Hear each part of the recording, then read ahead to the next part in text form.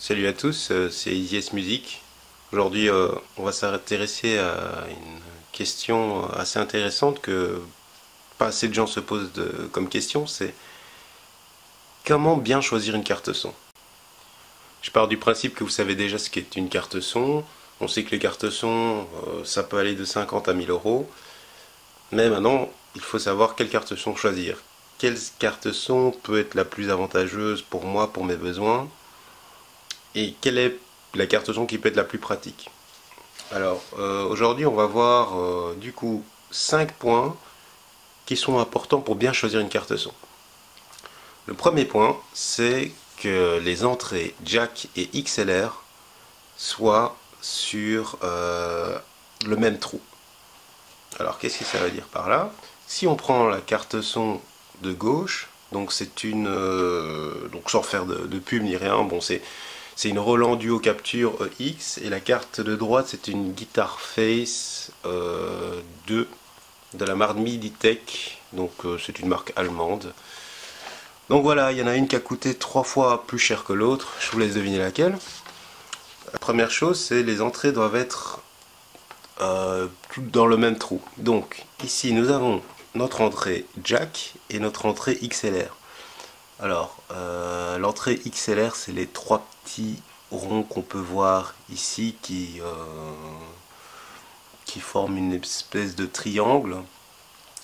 Et donc en fait, c'est pratique d'avoir euh, l'entrée jack et XLR dans le même trou parce que ça nous évite finalement d'avoir quatre entrées sur la carte son, ce qui lui ferait prendre beaucoup de place. Elle serait beaucoup plus large ou soit beaucoup plus haute. Et donc ça, ça, peut être pratique. Donc on peut voir ici sur la carte de droite, bah, ce sont juste des entrées jack simples. Euh, et on peut brancher du coup euh, bah, tout ce qui est en jack. Donc voilà. Euh, deuxièmement, c'est que les entrées justement jack ou XLR ou jack et XLR soient sur la même face que le niveau euh, du contrôle du signal. Alors, le niveau du contrôle du signal, c'est quoi? C'est ici sur la carte de gauche, c'est ces petits deux boutons. Alors, à quoi ils servent ces boutons? C'est pour, euh, régler le signal d'entrée euh, bah, du signal, tout simplement. C'est-à-dire que moi, quand je vais parler dans mon micro, je peux régler donc physiquement le niveau sonore qui va être enregistré dans le logiciel ou sur mon ordinateur, etc. Donc je peux dire, bah tiens là je suis en train de parler, je, parle trop fort, qu'est-ce que je vais faire? Je vais venir diminuer le son. Et donc ça c'est bien physiquement, c'est pas sur le logiciel où je viens euh, baisser euh, le niveau sonore euh, du truc. Là je viens directement baisser le, le son, c'est-à-dire que si dans mon logiciel maintenant je veux venir augmenter le son, le son risque de saturer parce que le son était déjà faible à la base. Donc c'est ça. Alors, euh, donc ça c'est pratique quand ça se trouve exactement sur la même face que les entrées. Parce que je vais prendre l'exemple de la carte son numéro 2, donc celle de droite. L'entrée, le niveau du signal est derrière. Alors imaginez, maintenant vous avez branché des choses ici. Bon voilà, j'ai mis un micro sur l'entrée 1 et je veux régler le son. Je me dis, bah tiens là le son est trop fort, il sature, j'ai envie de le régler. Donc soit je suis obligé de retourner ma carte avec le fil qui va pendre et commencer à essayer de régler euh, le, petit euh, le, niveau. Euh, c'est vraiment pas pratique, donc c'est préférable quand ça va se trouver sur la même face. Le point 3, c'est les sorties casques, ou les sorties tout court. Donc ici, nous avons sur la carte numéro 1 une sortie pour les casques et on a une autre sortie.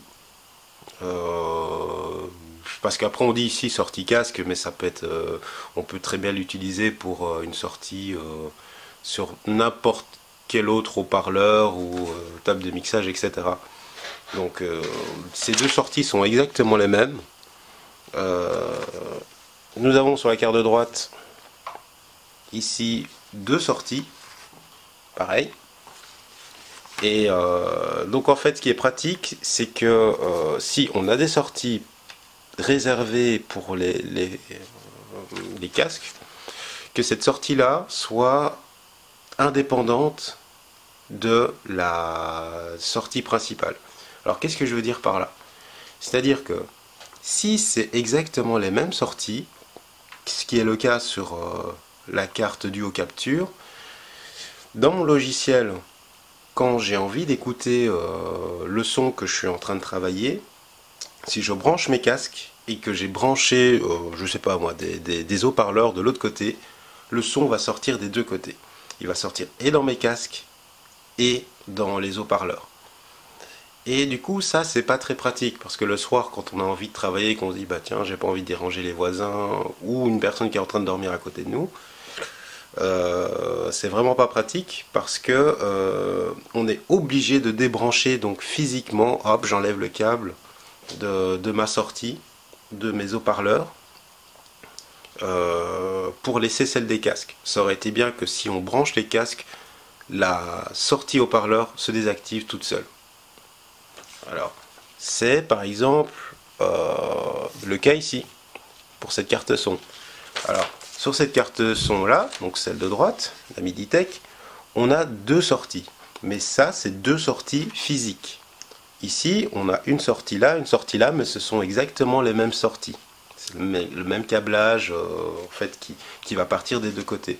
Ce qui fait que ici, dans mon logiciel, j'ai une sortie 1, une sortie 2. Je peux aller dire, ah bah tiens, moi j'ai envie que le son sorte juste sur la sortie 1. Ça veut dire que si je branche quelque chose ici sur la sortie 2, il n'y a rien qui sort. Et ça c'est pratique parce que là ça veut dire que si je me dis bah tiens maintenant j'ai envie de mettre ça sur la sortie 2 et pas sur la sortie 1, je peux écouter dans mes casques. Mes enceintes elles sont toujours branchées physiquement avec un jack ou peu importe. Et là, j'écoute mon son tranquillou. Voilà. Et du coup, quatrième, euh, quatrième point et dernier point, c'est euh, bah, finalement ce qu'on regrette un peu sur toutes les cartes son, ce sont les boutons. C'est-à-dire que la face avant, généralement, elle n'a pas de problème, elle est bien faite, mais c'est la face arrière. Et il existe des cartes son où en fait tout ce qui est sur la face arrière va se trouver sur le dessus de la carte. Et ça, c'est extrêmement pratique. Donc si vous arrivez à trouver des cartes son qui possèdent des boutons sur euh, le dessus, c'est vachement plus pratique. Pourquoi? Parce que c'est un peu euh, le même problème que j'avais énoncé tout à l'heure. Je branche un micro, je branche une guitare, euh, voilà, ici. Hop, là derrière il y a ma sortie, bah, je sais pas, moi je branche ça sur des enceintes ou peu importe. Et puis à un moment donné, je me dis ah tiens mince, euh, je veux voir donc qu'est-ce qu'il peut avoir ici derrière qu'on peut régler. Bah, je veux régler un de ces boutons là, on va dire. À moins de, bien connaître sa carte son et l'avoir utilisé pendant des années, on est obligé de retourner sa carte son. Et euh, si on a tout branché, qu'on a 10 000 câbles dessus, c'est vraiment pas pratique parce qu'on fait un tour, deux tours et là on commence à voir les, instruments qui se tirent les uns sur les autres, etc. Euh, ou si on a des longs câbles, ils commencent à s'entremêler parce que euh, la carte son est...